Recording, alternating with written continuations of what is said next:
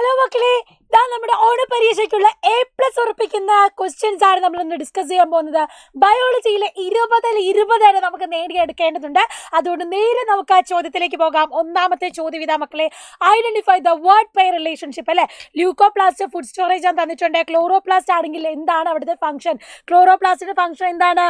Photo synthesis ആണ് അല്ലെ? Photo synthesis അല്ലെങ്കിൽ നമുക്ക് പറയാം പ്രകാശ പ്രകാശ സംശ്ലേഷണം. പ്രകാശ സംശ്ലേഷണം. ഒന്നും കൂടെ എഴുതി തരാം. യെസ് പ്രകാശ സംശ്ലേഷണം. പ്രകാശ സംശ്ലേഷണം.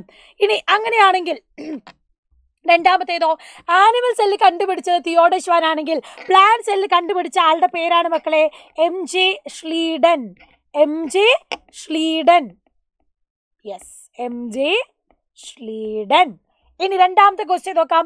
Write the name of connective tissue perform the following function പദാർത്ഥ സംവഹനം കണ്ടക്ഷൻ ഓഫ് മെറ്റീരിയൽ സാധനങ്ങൾ കൈമാറ്റം ചെയ്യപ്പെടുന്നത്.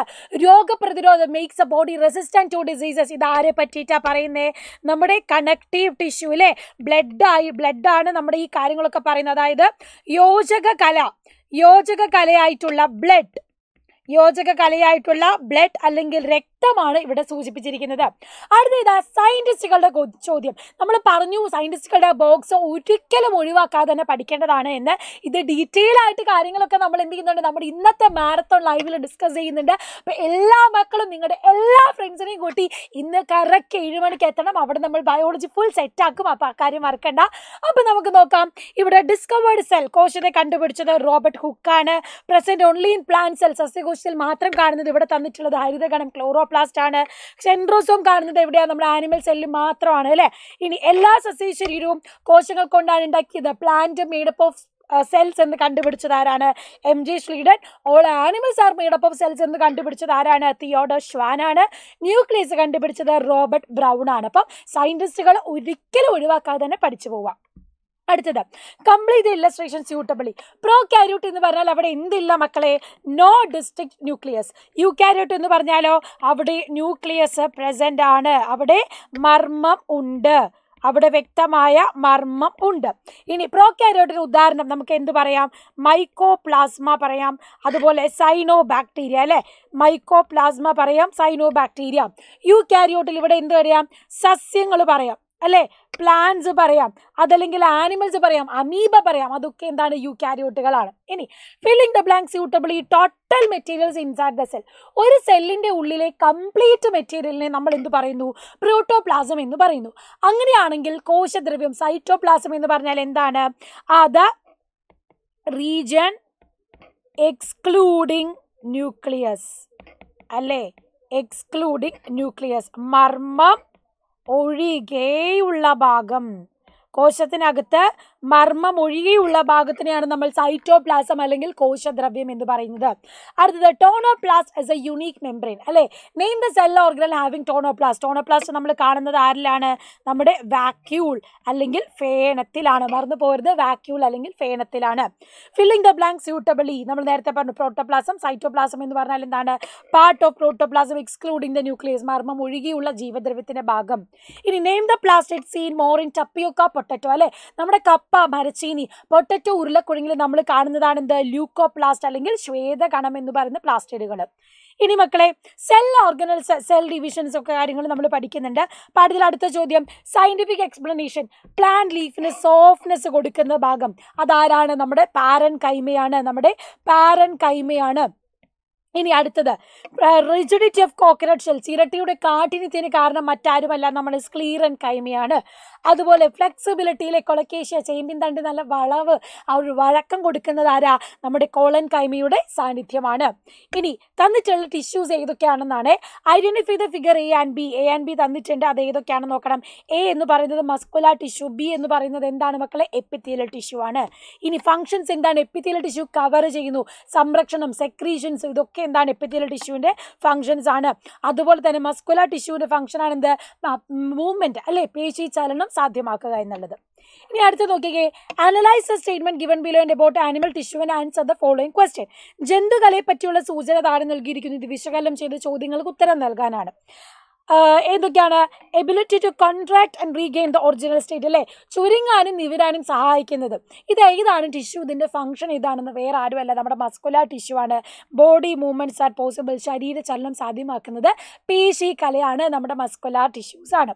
ഇനി ടോണോപ്ലാസ്റ്റ് നമ്മൾ പറഞ്ഞു വാക്യൂൾ ആണെന്ന്.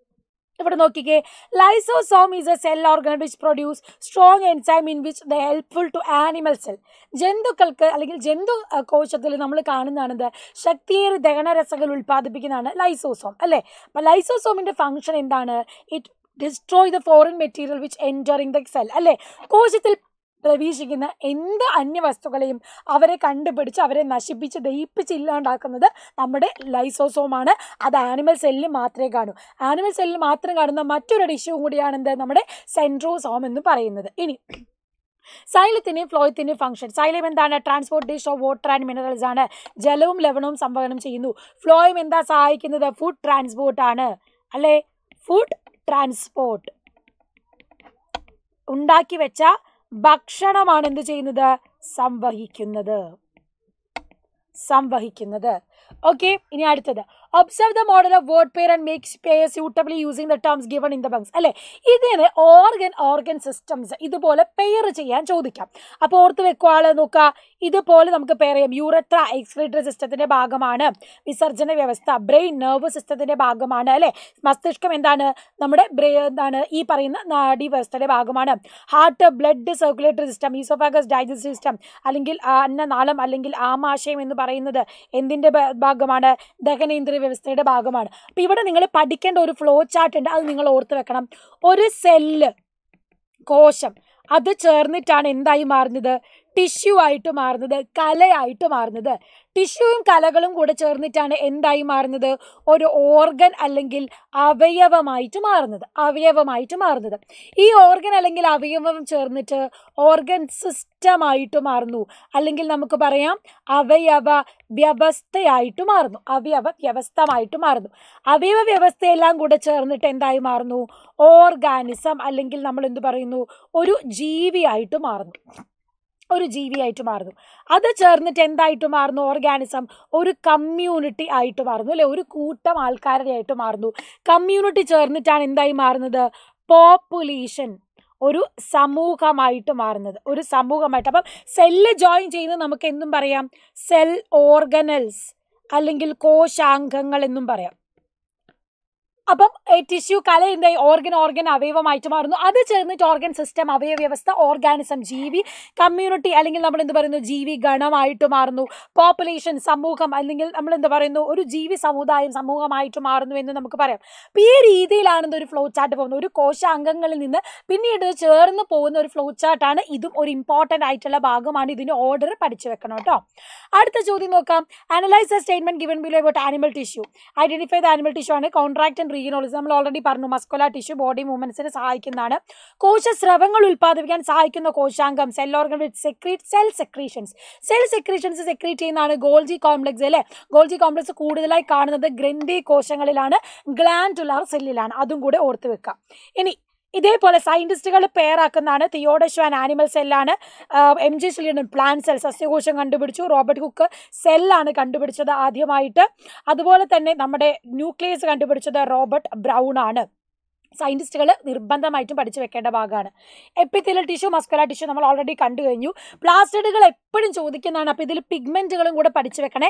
പ്ലാസ്റ്റിഡ്സ് പ്രൊഡ്യൂസ് ചെയ്യുന്നതാണ് ഇതാ. ക്ലോറോപ്ലാസ്റ്റ് ക്ലോറോഫിൽ ഹരിതഗണമാണ് പ്രൊഡ്യൂസ് ചെയ്യുന്നത്.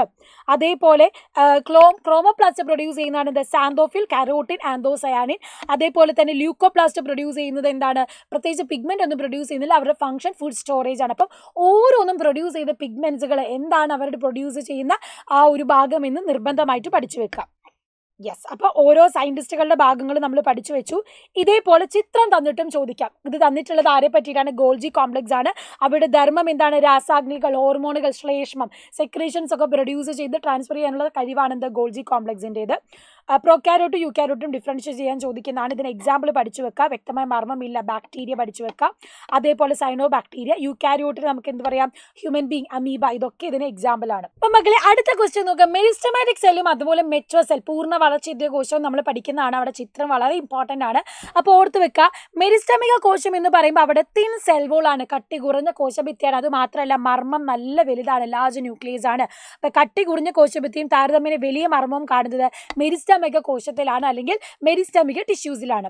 ഇനി less amount of cytoplasm thick secondary wall കട്ടി കൂടിയ സെൽ വോൾ തിക് സെക്കൻഡറി വോളും അതുപോലെ തന്നെ നമ്മൾ എന്ത് കാണുന്നു? കോശദ്രവ്യത്തിന്റെ അളവ് കുറവും കാണുന്നത് എവിടെയാണ്?